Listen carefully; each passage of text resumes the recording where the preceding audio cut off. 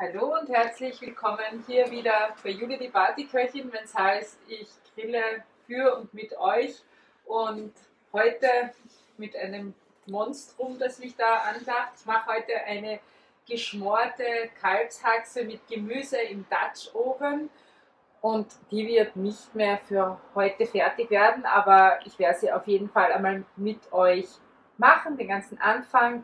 Und ich zeige euch aber vorher noch etwas. Ich habe seit 11 Uhr am Vormittag hier auf dem Grill schon was laufen.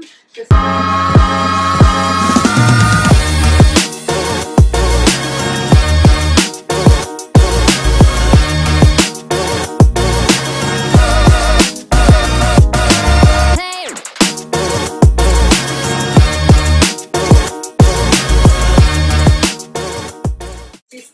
für meine Empanadas, also hier habe ich ein Pulled Pork und ein Pulled Beef.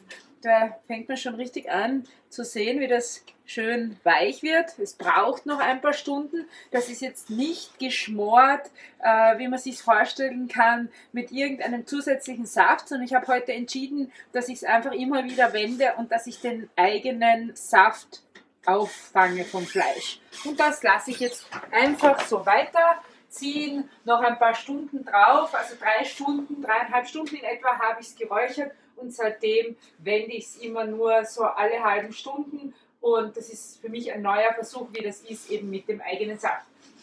Und hier habe ich eben noch einen Grill vorbereitet, auch äh, Holzkohle und in diesem Holzkohlengrill heize ich den Dutch Oven vor. Momentan bin ich auf direkter Hitze, hier natürlich auf indirekter Hitze, das sieht man auch gut mit 100 Grad, hier auf direkter Hitze, weil wir werden zuerst einmal das Gemüse anbrutzeln und wollen auch die Kalbshaxe wirklich angrillen. Und äh, was danach kommt, ist, äh, dass wir das Ganze auf indirekt ein paar Stunden weitermachen. So, ähm, ich habe hier schon Gemüse geschnitten. Äh, das Gemüse, das ich schon geschnitten habe, ist der Sellerie. Dann habe ich etwas Lauch geschnitten. Ich habe hier jungen Knoblauch. Dann habe ich noch Karotten. Dann habe ich noch äh, Rettich und äh, Fenchel, den Fenchel, den schneide ich jetzt, den Fenchel schneide ich sehr, sehr ungern früher, weil der sonst immer so hässlich anläuft. Den werden wir jetzt einfach in ein paar Stücke schneiden. Fenchel ist etwas, manche lieben es, manche hassen es. Ich kann davon nicht genug kriegen. Ich schneide das Gemüse relativ grob, weil das schmort doch recht lange mit. Und jetzt werden wir trotzdem den Dutch Oven kurz einmal beiseite stellen. Ich habe hinten den Gasgrill auch vorgeheizt, dass der Dutch Oven mir nicht auskühlt, während ich da jetzt meine Kalbshaxe angrillen werde. Aber zuerst werden, werden wir sie natürlich würzen und dass ich dann den Platz frei habe, werde ich da kurz einmal derweil den Dutch Oven warm halten. Gut. Da sieht man jetzt schön die direkte Hitze. Das tun wir zum anderen Gemüse dazu. Und ich habe hier jetzt eine Gewürzmischung hergerichtet. Diese Gewürzmischung war ganz lustig, als ich sie gerochen habe. Eigentlich steht ja nicht Rindfleisch oder irgendwas dabei, sondern es steht ganz deutlich wild. Jetzt habe ich natürlich, ich rieche mich, also mich, mich äh, interessieren die verschiedenen Gewürze und ich rieche mich da ein bisschen durch, ohne jetzt vorab von dem, was draufsteht, zu entscheiden, dass es genau dafür gedacht ist. Und als ich es dann gerochen habe, ist was sehr Interessantes passiert. Ich habe mir gedacht, soll ich die Kalbshaxe mit Rotwein schmoren, soll ich sie mit Weißwein schmoren? Natürlich ist das eine Entscheidung. Beim Kalb geht es in beide Richtungen. Ähm, Wenn es sehr jung ist, dann ist Weißwein passender. Wenn es ein bisschen ein größeres Kalb ist, dann passt auch schon der Rotwein sehr gut. Aber jetzt kommt das Interessante. Ich habe das Gewürz gerochen und meine Angewohnheit beim Riechen, das ist übrigens ein Tipp, so kombiniere ich die Sachen immer wieder äh, vorab, ohne sie gekostet zu haben, ist ich rieche eine Sache und dann rieche ich es quasi gemeinsam. Und das Interessante an diesem Gewürz ist, sobald ich den Weißwein rieche, verstärkt sich es nicht wirklich. Und wenn ich den Rotwein dazu halte, dann kommen plötzlich so ganz stark die Aromen von Wacholder und Kakao heraus. Und das passt zudem so richtig gut dazu. Und da war es natürlich klar mit Rotwein. Haben wir heute einen Kärntner Rotwein dazu genommen und jetzt, wie gesagt, werde ich einmal das Ganze hier würzen Und ich werde eine Spur, ein Öl drauf tun, damit das auch gut haftet. So, das streiche ich schön ein von allen Seiten. Und natürlich muss ich bei einem Schmorgericht nicht unbedingt angrillen. Ich mag halt Röstaromen immer recht gern, auch bei Schmorgerichten. Das heißt in dem Fall, ich habe mich dafür entschieden, wieder vorher anzugrillen. Jetzt kommt das Gewürz drauf. Ein bisschen vorsichtig muss ich natürlich auch sein. Das meiste vom Gewürz werde ich dann ins Schmorgericht hineintun. Beim Gewürz, wenn ich zu viel drauf tue, hat es keinen Sinn, weil dann verbrennt es mir nur. Und wie gesagt, das meiste kommt dann beim Schmorgericht drauf. Und dann habe ich hier noch passend zu dem Ganzen ein Zirbensalz. Und mit diesem Zirbensalz salze ich meine Haxe noch schön ein.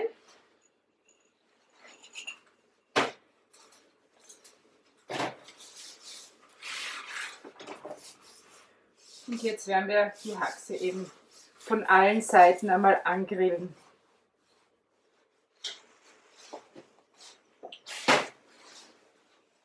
So, der Grill ist schön heiß. Große Haxe. Und das werden wir dann gleich hier einmal auflegen. Da sieht man schön, es knistert und knackt. Das werden wir dann zumachen. Und was ich jetzt noch an Zutaten hergerichtet habe, das werde ich mal weg tun, das brauche ich jetzt nicht mehr. Jetzt gehen wir noch einmal durch, was es noch gibt hier. Ich habe da jetzt noch einen äh, Senf und zwar einen alten Senf, der mit den Senfkörnern ist. Äh, damit werde ich die Soße verfeinern. Und wie gesagt, also hier habe ich ähm, jungen Knoblauch und mit diesem jungen Knoblauch werde ich nicht wirklich was machen. Also ich gebe den ganz hinein, den schmore ich im Ganzen mit. Ich habe den schon jetzt öfter in einigen Gerichten gekocht und der wird da so richtig weich und ich brauche den wirklich nicht einmal irgendwie schneiden oder sonst was. Den tue ich einfach so, wie er ist, hinein. Und was man hier auch noch sieht, ist, ich habe einen Lorbeer. Lorbeer gebe ich auch noch einen hinein. Jetzt werden wir das Ganze etwas drehen.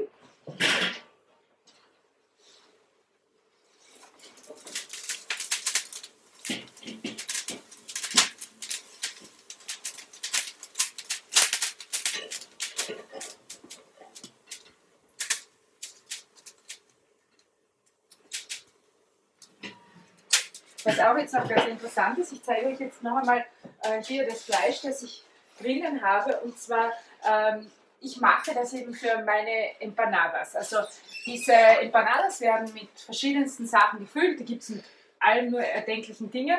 Und wie gesagt, ich mache sie mit Pulled äh, Pork und mit Pulled Beef.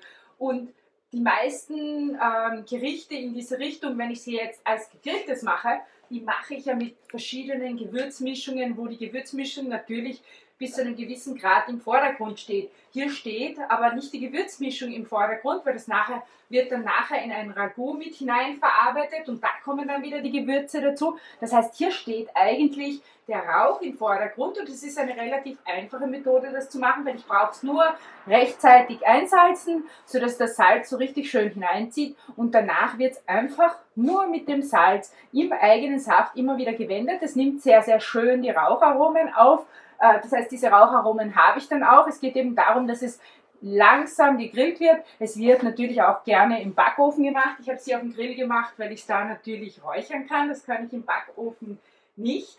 Und ähm, sobald es dann fertig ist, wird es eben einfach wie ein normales Pulled Pork oder Pulled Beef zerdrückt und als Ragout weiterverarbeitet. Und das sind ganz köstliche Empanadas. Also die mit Pulled Pork sind mit Rotweinzwiebeln und deswegen gibt es eben nicht tausend Gewürze dazu, weil der Sud mit dem Rotwein dann so interessant ist und es ist ein bisschen süß und knistert ein bisschen und deswegen ebenso natürlich wie möglich.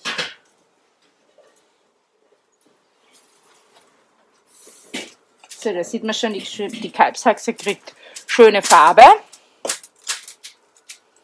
Dann werde ich da ein bisschen was von meinem Lorbeer nehmen und mitverbrennen.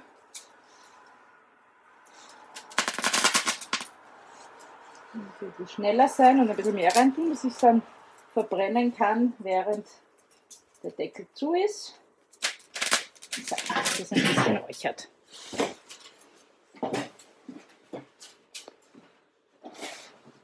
Der Kärntner den ich da genommen habe, ist ein kräftigerer, ist ein Cuvée. Ähm, den kann man natürlich dann, sobald das Gericht fertig ist, auch noch herrlich dazu genießen und herrlich dazu trinken. Jetzt werden wir da die Kalbsachse ein bisschen auf die Seite schieben und den Dutch oben wieder her tun, dass wir da schmoren können. So, das ein bisschen dann nach hinten.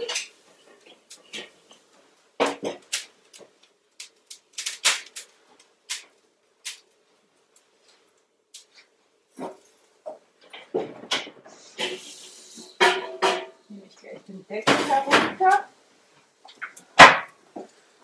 Da kommt jetzt in den Dutch Oven ein Öl hinein.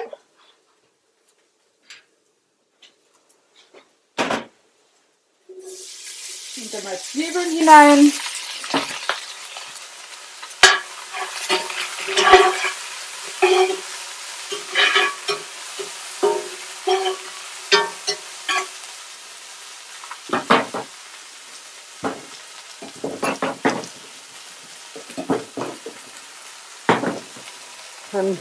Da die Knoblauchknollen dazu.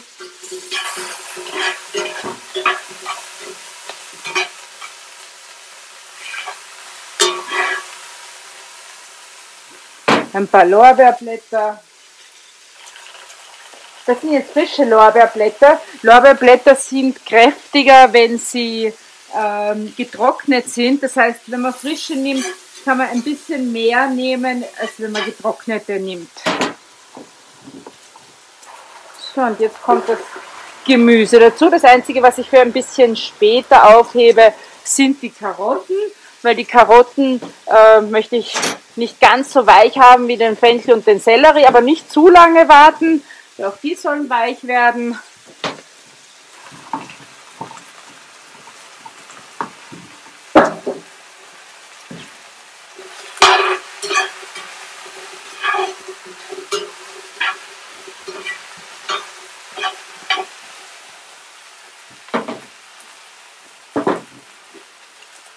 Dann kommt ein Salz dazu ein bisschen.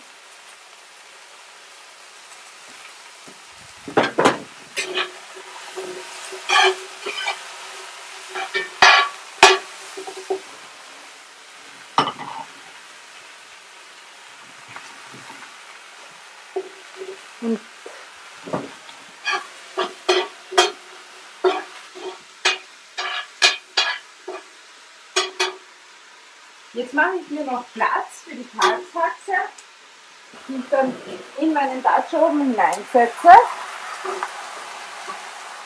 Und jetzt muss ich noch einmal arbeiten, weil ähm, ich werde jetzt das Ganze auf indirekte Hitze umbauen, werde zwischen immer wieder schauen, ob mir das heiß genug ist und ähm, wenn es zu kalt wird zum Beispiel, kann man natürlich jederzeit auf dem Dach oben die Kohlen drauf tun. Da hier aber kein Überbacken nötig ist, wird das hier auch nicht notwendig sein. Also hier sieht man schön die Körbe, die in der Mitte sind, die schiebe ich jetzt nach außen. So, ich das überhaupt nehmen und ein bisschen runtersetzen. Da oben schön rein.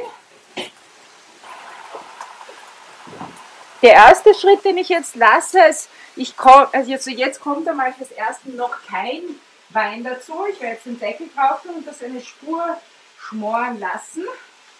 Das kommt noch hinein, da habe ich noch ein bisschen Gemüse. Nicht übrig lassen. Die Karotten, wie gesagt, tue ich ein bisschen später dazu. Den ich auch. Den Deckel drauf.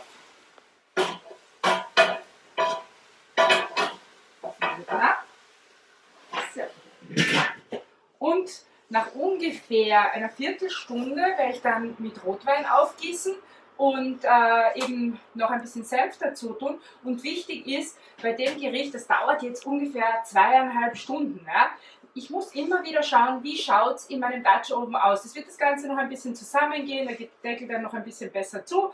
Und wenn ich dann sehe, dass das Ganze ein bisschen zusammengegangen ist, ich muss immer kontrollieren, ob genug Eigenflüssigkeit da drinnen ist. Ist nicht genug drinnen, dann kommt natürlich noch Flüssigkeit dazu. Also am besten zum Beispiel eine Rindsuppe oder eine Knochensuppe und mit dem eben dann immer wieder aufgießen. Und äh, ganz zum Schluss, wenn das fertig ist, was ganz gut ist, also was mir persönlich sehr gut schmeckt, ist, wenn man von Gemüse einfach nur ganz wenig ja, äh, mit dem Pürierstab aufmixt. Wenn man das mit dem Pürierstab aufgemixt hat, dann kommt noch, wenn man möchte, was Cremiges dazu, aber nicht das ganze Gemüse, sondern nur zwei, dreimal mit dem Pürierstab in den Saft hineinfahren, dann bindet es ein bisschen mehr. Dann brauche ich nichts, was so in die Richtung geht wie Mehl oder irgendwelche sonstigen Soßenbinder, weil ich das natürlich mit dem Gemüse machen kann. Gut, jetzt habe ich was vergessen, natürlich.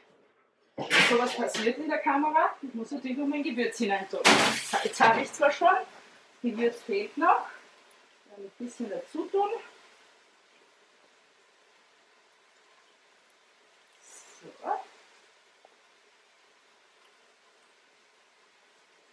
Gehen wir nochmal durch.